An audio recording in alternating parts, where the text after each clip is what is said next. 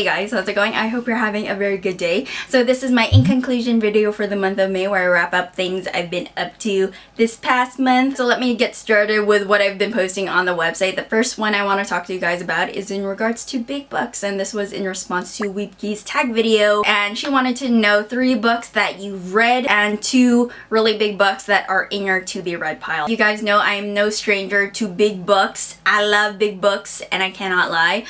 You other brothers can't deny. Yes, I think for me personally, if the characters and the plot is engaging, I do not mind the length of the book. I definitely felt that way toward the Song of Ice and Fire series. Those books for sure are huge, but I love them all because the characters are fantastic. The depth of these characters are astounding. Definitely check out that post and what other books I've mentioned. The next post I want to talk to you guys about is in regards to booktubing and things that I suck at. And this was in response response to Stacy and Jessica from the Chapter Chicks. Definitely check it out. I will leave links in the description box below so check out the channels and their videos. They did a video on booktubing and things that they sucked at and I thought this was a really great idea because um, even though we've done it for so long, there are definitely aspects of making videos or just being a booktuber in general that we're working on, improving. I don't think the learning process ever stops, but something I want to talk about that I'm I'm particularly bad at as a booktuber.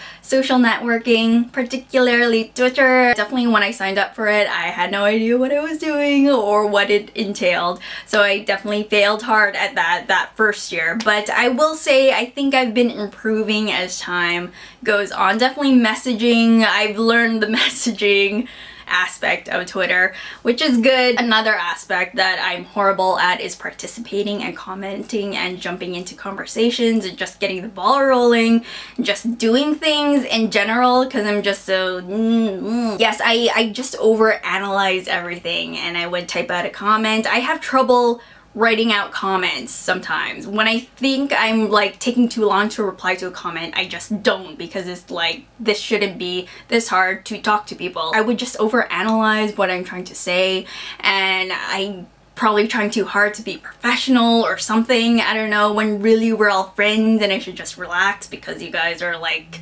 cool and I should just like just relax. Definitely check out that post down below and we can talk about things we suck at because we're not perfect. No one is. And lastly guys, because I didn't post that many things this past month, I'll just pad this video out with the Red Wedding from Game of Thrones, the recent episode. I realize this is a June thing, but we'll talk about it because it just happened and I just need to talk about it with you. FYI, do not Google that if you don't know what I'm talking about it, if you plan on watching and or reading the series. I won't spoil anything. All I will say though is I was screaming at my TV. Yes, someone did come into my room and ask what was wrong. And yes, I did yell at them to get out because I was still screaming at the TV.